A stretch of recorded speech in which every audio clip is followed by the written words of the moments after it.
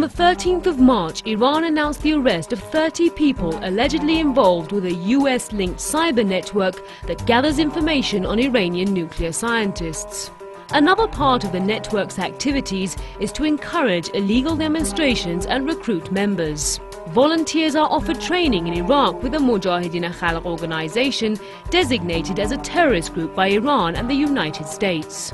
Those arrested were members of a US-based group that calls itself Human Rights Activists in Iran. What we wanted to know was the goal being pursued by this group and its members. In this segment, we will be discussing the cyber and information war against Iran and the countries that would profit from instability in the country.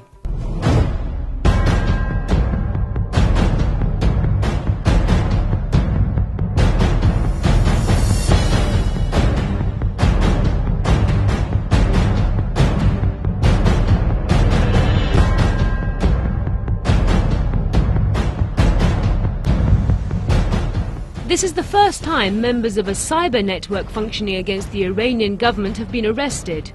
So where does Iranian law stand in relation to crimes committed on the net? To find out, we met with Tehran's Prosecutor General Abbas Jafari Dolatabadi. خوشبختانه در سال گذشته بعد از سالها بررسی های حقوقی در دانشگاه ها و مراکز تحقیقاتی مجلس شورای اسلامی قانونی تحت عنوان قانون جرائم رایانه ای تصویب کرد این قانون قانون بسیار جامع و مانعی است و خلاهای گذشته ما رو در این حوزه پر کرده و بنابراین تقسیم و تعریفی کرده در حوزه مختلف Mr. Daulat Abadi explained that Iran has laws that allow cyber criminals to be sued for menacing activity. فضای سایبر ابزاری برای اینها بود این جرم درسته که در فضای سایبر و اینترنت رخ داد. در واقع اینا از این فضای سیف و امنی که ایجاد کردن نوع ابزاری قرار دادن برای اقدامات مجرمانه خودشون. چون جرائم در گذشته می‌تونست به وسیله کاغذ، روزنامه، کتاب، یادداشت، سخنرانی، نطق در مجامع و گفتار در تلویزیون و رادیو انجام بشه. با پیشرفت تکنولوژی و ایجاد صنعت اینترنت یا تولید اینترنت در امریکا در فاز نظامیش که اولین بار در امریکا در حوزه نظامی رخ داد یک اتفاق بزرگ در جهان رخ داد که ابزار جدیدی رخ داده بود که شما راحت می‌تونستی اقدام کنی The Organized Crime Review Center, working under the direct supervision of the Iranian Voluntary Guards Corps, detected the suspects and led to their arrest. We asked Mr. Mohammadi, the deputy director of the organization, to introduce us to the center's activities. He explained that the threats the Islamic Revolution is now facing are not limited to armed tactics. He said the cyber world is now being used as a battlefield. کوچکترین مصداقش همون فرض بکنید که دزدی هایی که توی فضای حقیقی میشد الان به راحتی داره توی فضای سایبر صورت می‌گیره که خب سپاه پاسداران بنا به وظیفه ذاتی خودش که دفاع از دستاوردهای انقلابه این عرصه رو خالی نذاشت و به این عرصه پرداخت تا بتونه از کیان و اقتدار هم کشور و هم ملت ایران دفاع بکنه Mohammadi says the Organized Crime Review Center is not responsible for dealing with petty crime on the net. Instead, the center focuses specifically on networks actively plotting against the government.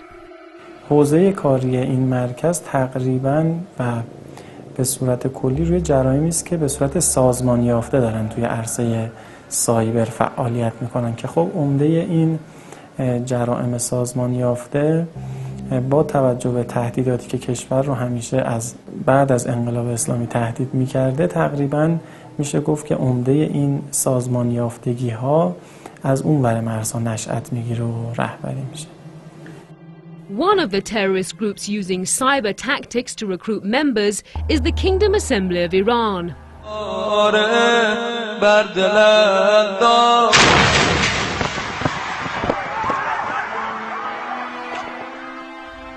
On April 12, 2008, the group detonated a bomb in Imam Hussein Mosque in Shiraz. 12 people were killed and more than 200 injured.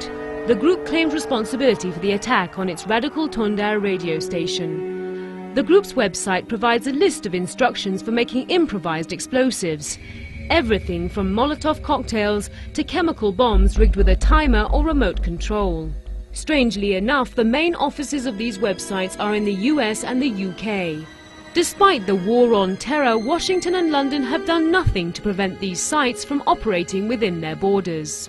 تقریبا چند تا سازمان نقششون پررنگه. در اسپانسریت چه فکری چه آموزشی و چه مالی این مجموعه.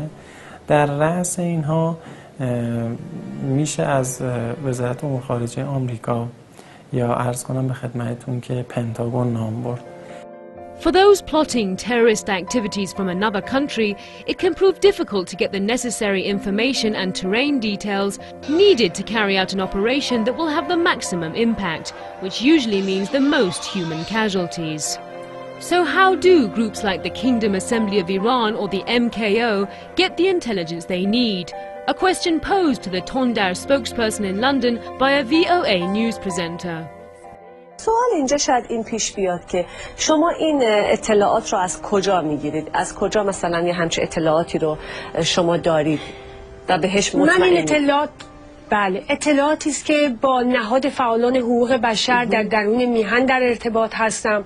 سازمان عفو بین المللی و دیگر نهادها ما باهاشون در ارتباط هستیم و مدت زیادی که داریم همکاری می‌کنیم و مدت زیادی است که با فعالان حقوق بشر در ارتباط هستیم و سخنگوی اونها هم کدبان باطبی در امریکا هستند.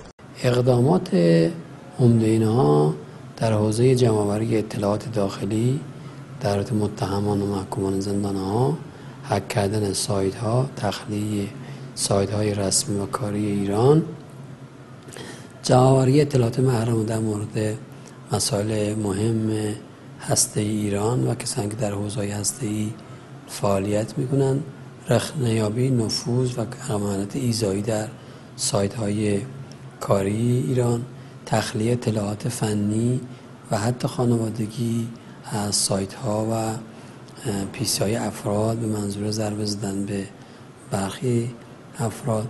مهمترین اقدام که اینها انجام دادن و به نظر ما شاید اینها در این فرض فکر می‌کردن که مسئول از تعقیب و اشراف خواهند بود.